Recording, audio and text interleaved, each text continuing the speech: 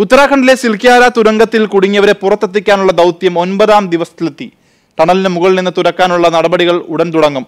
പുതിയതായി തുരങ്കമുണ്ടാക്കുന്ന മേഖലയുടെ ദൃശ്യങ്ങൾ ഏഷ്യനെറ്റ് ന്യൂസ് ലഭിച്ചു. റോബിൻ മാത്യു മട്ടത്തിൽ ഉത്തരകാശിയിൽ നിന്നും തയ്യാറാക്കിയ റിപ്പോർട്ടിലേക്ക്.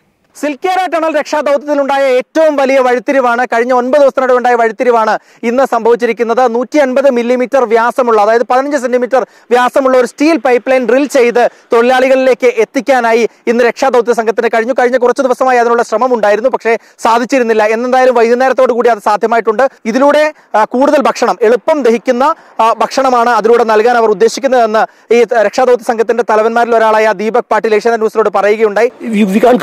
We, call it. We can call it a lifeline two, which we have achieved to Panchan. Okay, we have achieved to Panchan 150 mm 150 mm diameter steel pipeline, which is reaching the labours directly അതോടൊപ്പം പറ്റുമെങ്കിൽ mobile ഫോണുകൾ ഉൾപ്പെടെ നൽകും. അതിനകത്ത് network കിട്ടുന്ന സംവിധാനങ്ങൾ ഒരുക്കും.